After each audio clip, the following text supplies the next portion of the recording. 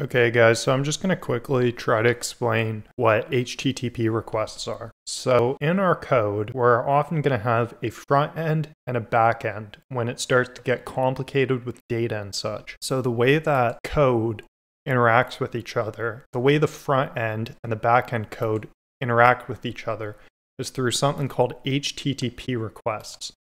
And you've probably seen HTTP well, you obviously have seen HTTP at this point when you're in your web browser. So it's pretty simple. So what we're doing is we're just getting or uploading, posting from a domain. So as you can see, we have example.com slash API slash auth slash get account details. So this is what we're sending to the server, an HTTP request to get account details.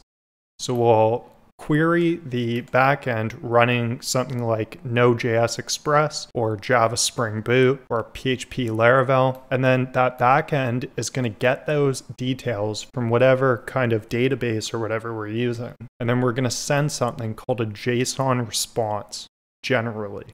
That's usually what we'll be sending. There's different things you can send from the backend, but generally, a lot of the times, you're working with the JSON response.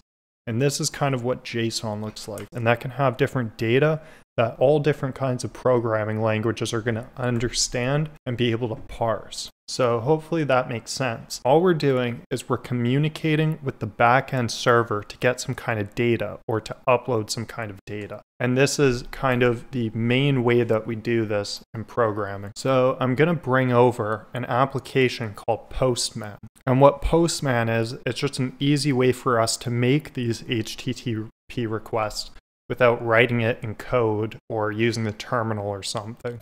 Now, there's all different kinds of post requests, but the most common ones that you're going to run into usually are you have get requests where you're getting some kind of data and you might upload some kind of parameters uh, so that the website knows what you want. You also have post requests where you're uploading some kind of data. So here, if I pull this back up, we can send a JSON object to the server. So maybe even we want to send our credentials. So if we had our username, email, and maybe a password as well, we're going to send that JSON object to the backend.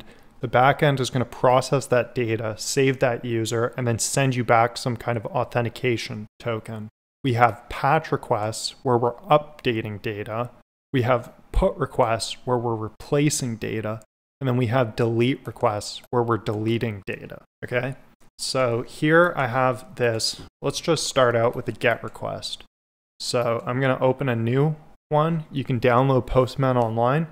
And we're just going to get the main page. So there's not going to be any like API slash create account or anything. This is just the home page. And this is what I have set up in my backend. Okay. So we have a GET request we sent the GET request, and the server responded with this JSON object.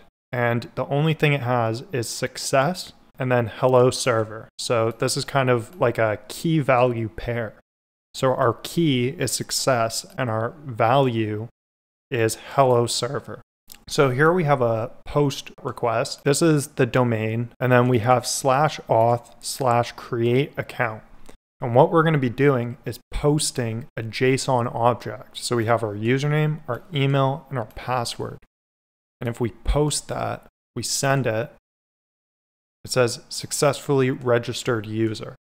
And it also sent us a cookie to use for authentication, although you don't need to worry about that now. But if we went into get data, and so as you can see, we did a get request for localhost slash data slash get data, and it returned a data key value pair with an array, but the array doesn't have anything in it.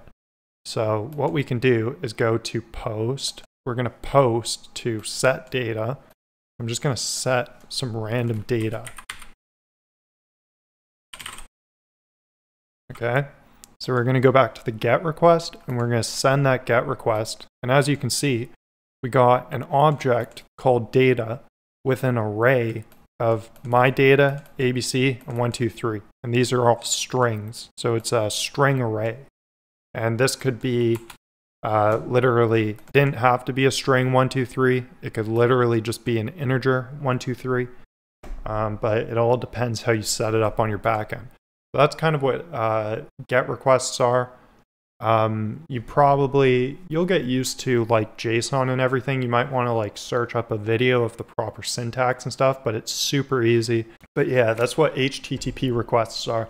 The main takeaway is it's the way that your front end app communicates with the back end server, and we have different methods of doing that. So we get data, we post data, we patch data, we put data, and we delete data. We have these different ones.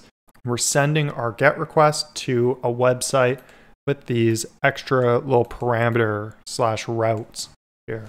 So hopefully that makes sense, made sense. Uh, like the video if this helped, and subscribe if you want more.